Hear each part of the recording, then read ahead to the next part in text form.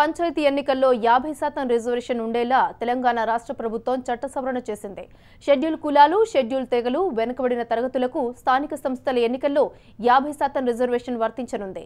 దీనికోసం రాష్ట్ర ప్రభుత్వం పంచాయతీరాజ్ చట్టానికి సవరణ చేస్తూ ఆర్డినెన్స్ తీసుకొచ్చింది. రిజర్వేషన్ల ప్రక్రియలో భాగంగా తొలుత రాష్ట్ర స్థాయి కోటాను ఖరారు చేస్తారు. ఆ తర్వాత జిల్లాల వారి రిజర్వేషన్ల కోటాను త్వరలోనే విడుదల చేయబోతున్నారు. పంచాయతీరాజ్ శాఖ మార్గదర్శకాల ప్రకారం వంద శాతం ఎస్టీలున్న ఒక వెయ్యి మూడు వందల ఇరవై ఆరు గ్రామాలతో పాటు మరో ఒక వెయ్యి మూడు వందల ఎనిమిది గ్రామాలను పూర్తిగా ఎస్టీలకే కేటాయించబోతున్నారు.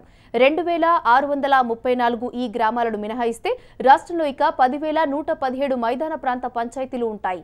వీటిలో జనాభాధారంగా ఎస్టీలకు ఐదు పాయింట్ ఏడు మూడు శాతం ఎస్సీలకు ఇరవై పాయింట్ నాలుగు ఆరు శాతం రిజర్వ్ చేశారు.